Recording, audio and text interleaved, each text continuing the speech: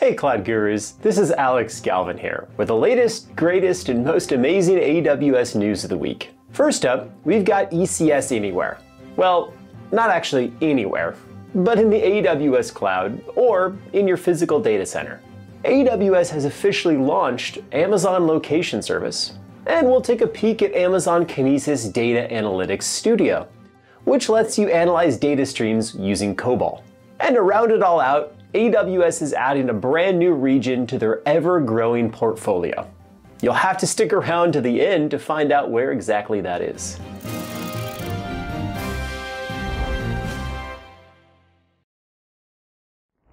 So, who hates the cloud? Yeah, me too. What I love is managing and dealing with physical architecture. There's no better feeling than racking and stacking servers. Uh, okay, yeah, that's not really true. Physical architecture isn't my favorite, and I'd guess you'll feel the same way since you're watching a video about AWS. So why does it matter that we can now run ECS workloads on-prem? Well, unfortunately, there are still some workloads out there that can't run in the cloud, and they need physical hardware. Thankfully, for those of us with ECS workloads in AWS, we can now translate that to our data centers. ECS Anywhere gives us the flexibility to use ECS on-prem.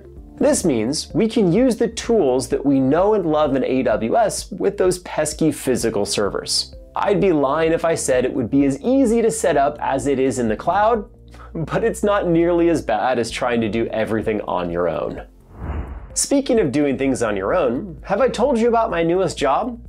I've been contracted to wear a fun backpack with a huge camera sticking out of it and hike all around taking photos for the Amazon location service. While I'm sure they'd love to have you join me, it's not actually a requirement to add maps, directions, or locations to your applications. With just a few clicks and some additional code in your app, you can easily add in a mapping framework so you don't have to build this yourself.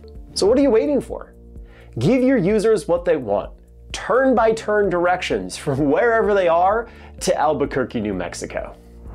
Next up, I've got some great news for anyone who needs to process streaming data. AWS has just launched a new product called Kinesis Data Analytics Studio.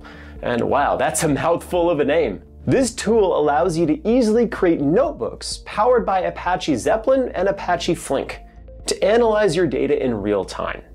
You no longer need to collect everything in one spot and then process it later.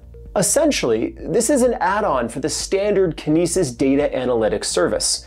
So you can use SQL, Python, or Scala, and definitely not COBOL to interact with your data. Lastly, we once again have another AWS region on the horizon. This one is coming to us in the United Arab Emirates. I wonder if we should just stop announcing these and just assume that every single country will get an AWS region at some point. Well, maybe it'll get to that point soon, but for now, there's a second region coming online in the Middle East. There isn't an announced opening date just yet, but it's good to know for planning purposes. Alright folks, that's all I've got for AWS news this week. Make sure to drop a comment below to let us know if you'll be using any of these services. If you love this video, make sure to say hi next time you see me hiking around with the location service camera. So until next time, keep being awesome, Cloud Gurus.